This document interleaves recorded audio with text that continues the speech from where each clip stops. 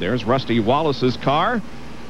And there is our pole sitter, John Andretti. Jack Arute is right there also. And Bobby's saying, what did they say? What did they say? You're kind of in the dark about this thing right now, John.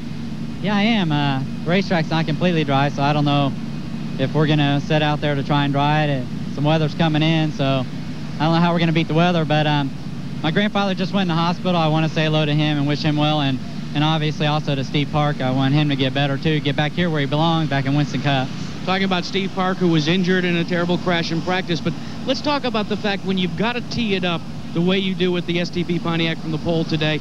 We didn't have a lot of practice. You had a little bit on Friday, nothing yesterday. It's a totally green racetrack. Your concerns? Well, not a lot of concern. I mean, I think um, Goodyear brought a new tire here, and obviously last year they were a little bit concerned about it. So we're going to have, I think, a caution after lap 25, and we'll adjust on it then and see how it goes all the talk about the Fords versus the General Motors products, and all of a sudden it's an all Pontiac front row. Were you guys sandbagging the first couple of races? uh, there's no such thing, you know, Jack. In uh, in racing, I mean, you run as hard as you can run, and uh, we knew we had a good car for here, and um, we we got very limited practice, but that was probably good for us because um, sometimes we can back up too. Jerry Punch, the one thing that Robbie Loomis says about his driver is he's consistent and he's a fast learner.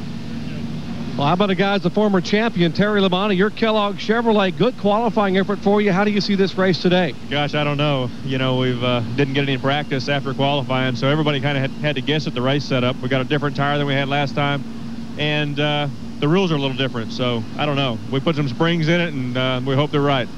People talking about this race today where experience would be the premium, of knowing what a racetrack could do, but this track is so different than what it was back when you raced all those years yeah, it's it's a whole different deal now, and uh, you know, so whoever hits the right setup is going to run good, and uh, you know who doesn't, they're not going to run good. So I don't know. We just hope the weather holds off. We can get the thing in today.